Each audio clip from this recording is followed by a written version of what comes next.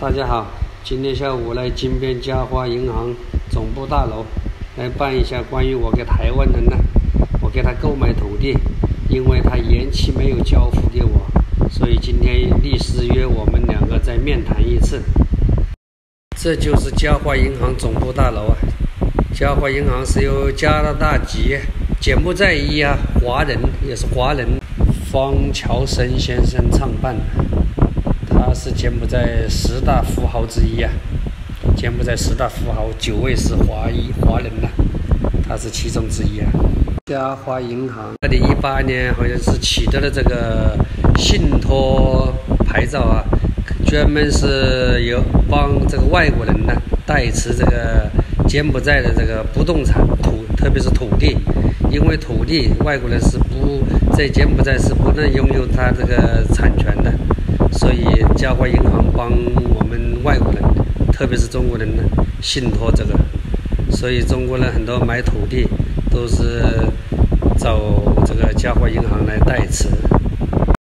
好，他到了，我们也进去吧。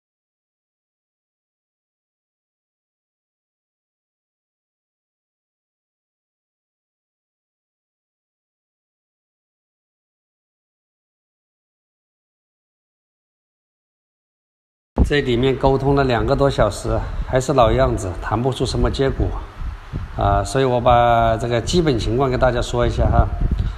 呃，这个台湾人呢是在以前是在中国江苏昆山那边草地，呃，做中介兼带自己草地，呃，后来他来到柬埔寨是同样的模式，在金边开了个中介公司，一边做中介一边自己兼带草地。啊，就是好像看到哪块地比较便宜，他自己付一点点首付定下来，然后利用这个时间差嘛，呃，到后面付款的话分两次、三次付的话，有个这个三四个月的时间差嘛，利用这个时间差呢，找后面的人接盘，所以他不光是赚想赚这个中介费，他还是想要赚这个差价。啊，所以他这个赶上这个疫情呢，他资金断电呢，可能就有问题，啊，我是二零一九年八月多看中了他一块地，然后当时我就付了他两万美金给他确定，定了以后一直拖拖，二零一九年到二零二零年三月份，再正式给我到嘉华银行办理这个信托手续。啊，我我们都大家都以为呢，呃，到了嘉华银行信托比较安全呢。但是通过我这段时间的了解啊，呃，以及他们这些所作所为，我发现银行的安全呢，只能是说，我们的财产到了他的名下，可能他的银行比较大，不会给我们什么倒，他不会倒闭啊，或者不会给我们变卖掉，不会抵押搞这些违法的动作。但是对于这些过户啊，呃，这些一系列的风险呢，他们是没有风控能力的哈。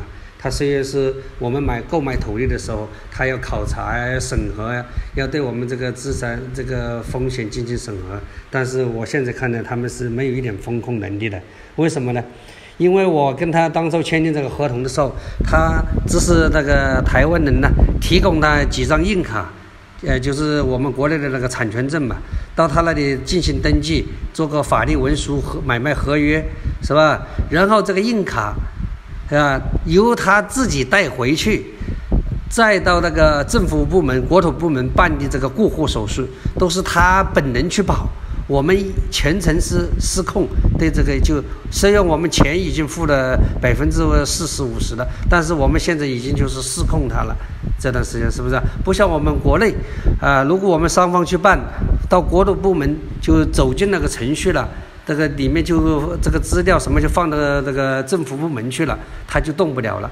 但是他这个是由他自己带回，自己把这个硬卡就是这个产权证带回了，他就有动作可以搞了。我们就脱离我们的监控了，也脱离嘉华银行的监控了啊！然后他就把我这个卡呢，是现实现实，他就把这张硬卡呢，他并没有拿去过户，而是拿去了重新抵押，重新去找用这个硬卡押钱，向我们也是中国人呢，向他借了高利贷，是吧？而不去而不去这个国土部门办这个过户手续，所以嘉华银行也是一无所知，我们也是一无所知。啊，这现在这个硬卡是什么状态？借了人家多少钱？啊，是不是被人家过户走了？是吧？现在他说是说有证据，但是到目前来说没有提供这个有效的证据给我们看。啊，现在情况就是这么个情况。所以说提醒这个中国同胞啊，购买这个土地，下次购买这个土地，这个环节一定要注意哈。呃，让他自己去跑过户的话，这个风险是很大的。要不是自己我们自己去跑，我们拿这个硬卡去跑，啊，让他出钱交税是什么？这样就安全。最起码要看到他这个硬卡已经进入政府部门了，再办理这个手续了，这个就才安全了。他他不可能从政府部门再拉出来，是不是？所以这是这是个这是个很大的风险。所以针对这个事，我就怕他这个地，万一给那些借高利贷的人给他收走了呢？因为你还不起他的欠款，他把这块地给他划走了呢，是吧？然后我给嘉华银行啊，这个他有什么承担什么责任吗？我给他办的信托啊，啊，希望广大的网友谁懂啊，提供提供建议，给我留言。好，谢谢大家观看，欢迎大家给我留言。